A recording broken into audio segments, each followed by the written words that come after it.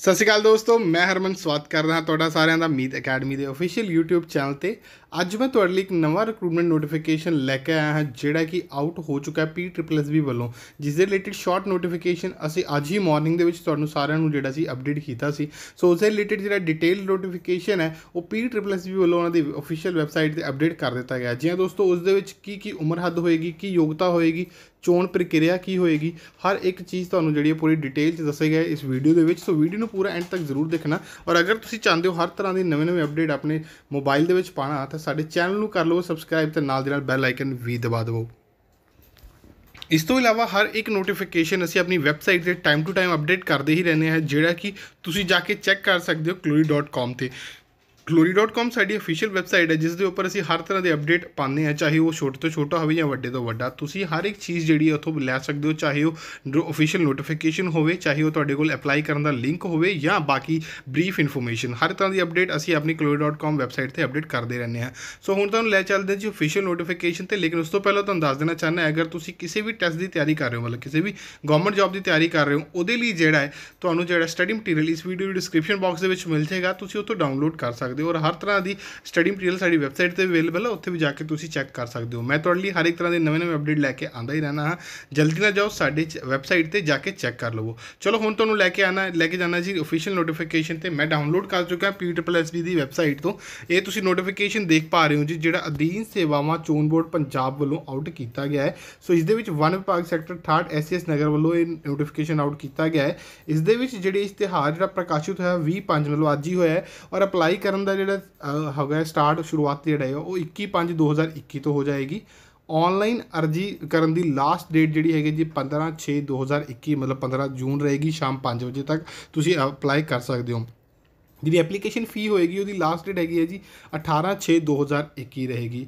ਇਸ ਦੇ ਵਿੱਚ ਉਹਨਾਂ ਨੇ ਇਹ ਲਿਖਿਆ ਹੈ, ਦੀਨ ਸੇਵਾਵਾਂ ਚੋਣ ਬੋਰਡ ਪੰਜਾਬ ਦੀ ਜਿਹੜੀ ਸਥਾਪਨਾ ਭਾਰ ਭਾਰਤੀ ਸੰਵਿਧਾਨ ਦੀ ਧਾਰਾ 309 ਦੇ ਤਹਿਤ ਕੀਤੀ ਗਈ ਹੈ ਜਿਸ ਦੇ ਵਿੱਚ ਉਹਨਾਂ ਨੇ ਪੰਜਾਬ ਸਰਕਾਰ ਦੇ ਅਦਾਰੇ ਵੱਲੋਂ ਮੰਗ ਪ੍ਰਾਪਤ, ਜਿਹੜਾ ਉਹਨਾਂ ਨੂੰ ਮੰਗ ਪੱਤਰ ਪ੍ਰਾਪਤ ਹੋਇਆ ਦੀ ਉਹਦੇ ਅਨੁਸਾਰ ਜਿਹੜੀਆਂ ਨੇ ਉਹਨਾਂ ਨੇ ਗਰੁੱਪ ਸੀ ਦੀਆਂ ਸੇਵਾਵਾਂ ਦੇ ਲਈ ਭਰਤੀ ਜਿਹੜੀ ਆ ਆਊਟ ਕੀਤੀ ਹੈ। ਇਸ ਦੇ ਵਿੱਚ ਜਿਹੜੀਆਂ ਭਰਤੀਆਂ, ਜਿੱਦਾਂ ਤੁਹਾਨੂੰ ਪਹਿਲਾਂ ਅਸੀਂ ਦੱਸਿਆ ਸੀਗਾ ਕਿ ਇਸ ਦੇ ਵਿੱਚ ਉਦਯੋਗ ਤੇ ਕਮਰਸ ਵਿਭਾਗ ਪੰਜਾਬ ਦੇ ਵਿੱਚ ਉੱਚ ਉਦਯੋਗਿਕ ਉન્નਤੀ ਅਫਸਰ ਦੀਆਂ 56 ਭਰਤੀਆਂ ਨੇ, ਬਲਾਕ ਪੱਧਰ ਪ੍ਰਸਾਰ ਅਫਸਰ ਦੀਆਂ ਜਿਹੜੀਆਂ 61 ਭਰਤੀਆਂ ਨੇ।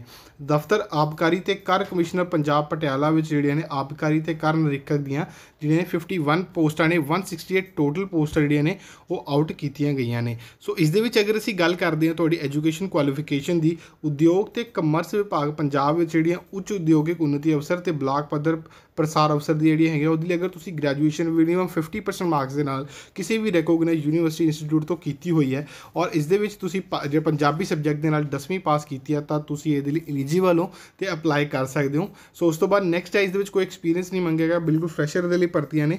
ਨੈਕਸਟ ਹੈਗਾ ਜੀ ਇਸ ਦੇ ਵਿੱਚ ਆਬਕਾਰੀ ਤੇ ਕਰ ਨਿਰੀਖਕ ਦੀ ਹੈ, ਜਿਸ ਦੇ ਵਿੱਚ ਤੁਹਾਡੀ ਡਿਗਰੀ ਜਿਹੜੀ ਹੈ ਮਤਲਬ ਬੈਚਲਰਸ ਵਿੱਚ ਹੋਣੀ ਚਾਹੀਦੀ ਹੈ ਤੇ ਇਸ ਦੇ ਵਿੱਚ ਕਿਸੇ ਵੀ ਡਿਸਪਲਿਨ 'ਚ ਤੁਸੀਂ ਪਾਸ ਕੀਤੀ ਹੈ ਸੋ ਤੁਸੀਂ ਇਹਦੇ ਲਈ ਐਲੀਜੀਬਲ ਹੋ ਤੇ ਅਪਲਾਈ ਕਰ ਸਕਦੇ ਹੋ। ਔਰ ਇਸ ਦੇ ਵਿੱਚ ਤੁਹਾਡਾ 120 ਘੰਟੇ ਦਾ ਕੋਰਸ ਜਿਹੜਾ ਹੈ ਜਾਂ ਵਰਕਿੰਗ ਐਕਸਪੀਰੀਅੰਸ ਜਿਹੜਾ ਹੈ, ਤੁਹਾਡਾ personal computers information technology office productivity application desktop publishing application government recognise institute ਜਾਂ ਰਿਪਿਊਟਡ ਇੰਸਟੀਟਿਊਟ ਤੋਂ ਜਿਹੜੇ ਤੁਸੀਂ ਆਈਐਸਓ ਸਰਟੀਫਾਈਡ ਹੁੰਦੇ ਨੇ, ਅਗਰ ਉਹ ਤੋਂ ਕੀਤੀ ਹੋਈ ਹੈ, ਤਾਂ ਤੁਸੀਂ ਇਹਦੇ ਲਈ ਐਲੀਜੀਬਲ ਹੋ ਤੇ ਅਪਲਾਈ ਕਰ ਸਕਦੇ ਹੋ। ਤੁਹਾਡੇ ਜਿਹੜਾ ਕੰਪਿਊਟਰ ਇਨਫੋਰਮੇਸ਼ਨ ਟੈਕਨੋਲੋਜੀ ਦਾ ਕੋਰਸ ਅਗਰ ਤੁਸੀਂ ਉਹ ਲੈਵਲ ਦਾ ਕੀਤਾ ਹੋਇਆ ਤਾਂ ਤੁਸੀਂ ਵੀ ਇਹਦੇ ਲਈ ਐਲੀਜੀਬਲ ਹੋ ਅਪਲਾਈ ਕਰ ਪਾਓਗੇ।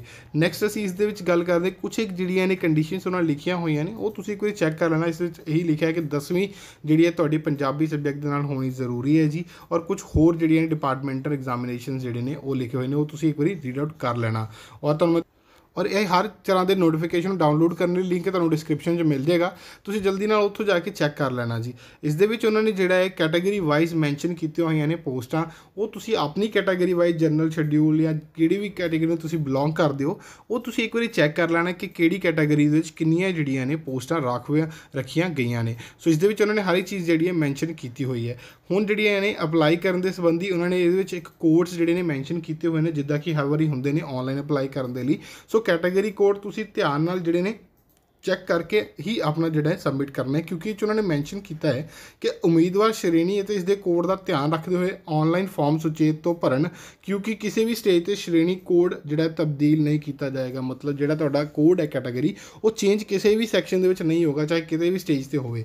ਸੋ ਉਸ ਤੋਂ ਬਾਅਦ ਨੈਕਸਟ ਇਹਨਾਂ ਨੇ ਇਹ ਵੀ ਲਿਖਿਆ ਹੋਇਆ ਹੈ ਕਿ ਜੇ ਅਗਰ ਤੁਸੀਂ ਜਿਸ ਕੋਡ ਦੇ ਅਗੇਂਸਟ ਅਪਲਾਈ ਕਰ ਰਹੇ ਹੋ, ਉਹ ਕੋਡ ਦਾ ਸਰਟੀਫਿਕੇਟ ਤੁਹਾਡੇ ਕੋਲ ਜਿਹੜਾ ਹੈ, ਉਹ ਹੋਣਾ ਚਾਹੀਦਾ ਹੈ ਔਰ ਜਿਹੜਾ ਕਿ ਤੁਹਾਨੂੰ ਪੇਸ਼ ਵੀ ਕਰਨਾ ਪਏਗਾ, ਜਿਹੜਾ ਕਿ 5 ਸਾਲ ਤੋਂ ਪੁਰਾਣਾ ਨਹੀਂ ਹੋਣਾ ਚਾਹੀਦਾ। ਰੀਸੈਂਟਲੀ ਬਣਵਾਇਆ ਤਾਂ ਰੀਸੈਂਟਲੀ ਤੁਸੀਂ ਜਿਹੜਾ ਉਹਨੂੰ ਅਪਡੇਟ ਜ਼ਰੂਰ ਕਰਵਾ ਲੈਣਾ ਤਾਂ ਕਿ ਉਹ ਪੁਰਾਣਾ ਨਾ ਰਹੇ।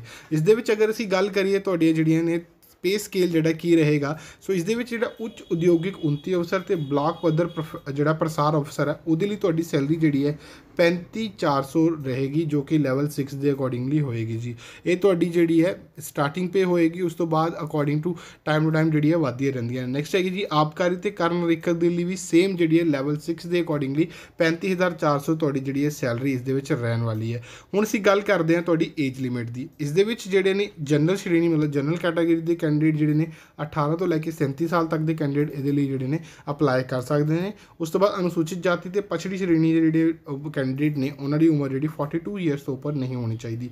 ਰਾਜ ਦੇ ਕੇਂਦਰ ਸਰਕਾਰ ਤੇ ਕਰਮਚਾਰੀ ਦੀ ਉਮਰ ਜਿਹੜੀ ਹੈ, ਸੀਮਾ ਛੋੜ ਦਿੰਦੇ ਹੋਏ ਉਹਨਾਂ ਨੇ 45 ਸਾਲ ਤੱਕ ਦੀ ਹੋਣੀ ਚਾਹੀਦੀ ਹੈ। ਪੰਜਾਬ ਦੇ ਵਸਨੀਕ ਸਾਬਕਾ ਫੌਜੀ ਤੇ ਉਹਨਾਂ ਦੀ ਉਮਰ ਜਿਹੜੀ ਹੈ ਹੱਦ ਹੈ, ਉਹਨਾਂ ਨੂੰ ਛੂਟ ਦਿੱਤੀ ਗਈ ਹੈ, ਜਿਹੜੀ ਕਿ ਉਹਨਾਂ ਦੀ ਟਾਈਮ ਪੀਰੀਅਡ ਹੁੰਦਾ ਹੈ ਜੌਬ ਦਾ, ਉਹਨੂੰ ਕੱਢ ਕੇ 3 ਸਾਲ ਦੀ ਛੂਟ ਜਿਹੜੀ ਉਹ ਦਿੱਤੀ ਜਾਏਗੀ। ਉਸ ਤੋਂ ਬਾਅਦ ਪੰਜਾਬ ਦੇ ਵਸਨੀਕ ਦਿਵਿਆਂਗ ਤੇ ਉਮੀਦਵਾਰਾਂ ਲਈ ਉੱਪਰਲੀ ਉਮਰ ਸੀਮਾ 10 10 ਸਾਲ ਦੀ ਛੂਟ ਜਿਹੜੀ ਉਹਨਾਂ ਨੂੰ ਮਿਲੇਗੀ, ਮਤਲਬ 47 ਈਅਰ ਤੱਕ ਉਹ ਐਲੀਜੀਬਲ ਨੇ ਤੇ ਅਪਲਾਈ ਕਰ ਸਕਦੇ ਨੇ। ਹੁਣ ਅਸੀਂ ਗੱਲ ਕਰਦੇ ਹਾਂ ਐਪਲੀਕੇਸ਼ਨ ਫੀ ਦੀ। ਇਸ ਦੇ ਵਿੱਚ ਅਗਰ ਤੁਸੀਂ ਜਨਰਲ ਕੈਟਾਗਰੀ ਤੋਂ ਸੁਤੰਤਰਤਾ ਸੰਗਰਾਮੀ ਜਾਂ ਖਿਡਾਰੀ ਹੋ, ਤਾਂ 1000 ਰੁਪਏ ਤੁਹਾਨੂੰ ਪੇ ਕਰਨੀ ਪਏਗੀ। ਐਸਸੀ ਬੀਸੀ ਤੇ ਆਰਥਿਕ ਤੋਂ ਈਡਬਲਯੂਐਸ ਕੈਂਡੀਡੇਟ ਨੂੰ 250 ਰੁਪਏ ਕਰਨੀ ਪਏਗੀ, ਸਾਬਕਾ ਫੌਜੀ ਅਤੇ ਡਿਪੈਂਡੈਂਟ ਨੂੰ 200 ਰੁਪਏ ਦਿਵਿਆਂਗ ਮਤਲਬ ਫਿਜ਼ੀਕਲ ਹੈਂਡੀਕੈਪ ਕੈਂਡੀਡੇਟ ਨੂੰ 500 ਰੁਪਏ ਜਿਹੜੀ ਹੈ ਪੇ ਕਰਨੀ ਹੋਏਗੀ। ਹੁਣ ਅਸੀਂ ਗੱਲ ਕਰਦੇ ਇਸ ਦੇ ਵਿੱਚ ਸਿਲੈਕਸ਼ਨ ਪ੍ਰੋਸੀਜਰ ਦੀ।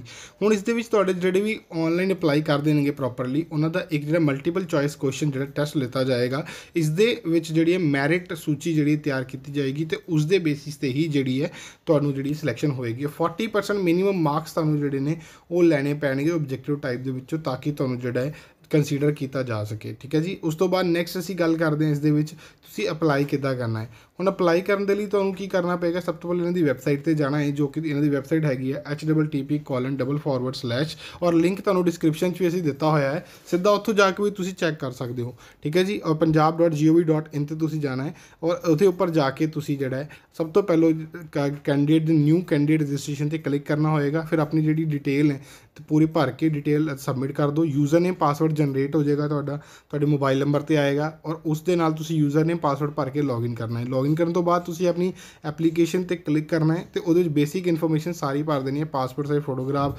ਤੁਹਾਡੇ ਸਿਗਨੇਚਰ ਕਰਕੇ ਤੁਸੀਂ ਸੇਵ ਕਰਕੇ ਅਪਲੋਡ ਕਰ ਦੇਣਾ ਹੈ। ਆਪਣੀ ਜਿਹੜੀ ਵੀ ਤੁਹਾਡੀ ਜਿਹੜੀ ਅਕੈਡਮਿਕ ਕੁਆਲੀਫਿਕੇਸ਼ਨ ਹੈ, ਤੁਸੀਂ ਉਹ ਵੀ ਪ੍ਰੋਪਰ ਭਰ ਦੇਣੀ ਹੈ, ਜਿੱਦਾਂ ਕਿ ਤੁਹਾਡੀ ਮੈਰਿਟ ਜਿਹੜੀ ਮੈਟ੍ਰਿਕ ਦੇ ਵਿੱਚ 10ਵੀਂ ਦਾ ਜੋ ਵੀ ਨਾਮ ਹੈ, ਜਨਮ ਮਿਤੀ ਹੈ, ਉਹੀ ਤੁਸੀਂ ਭਰੋਗੇ।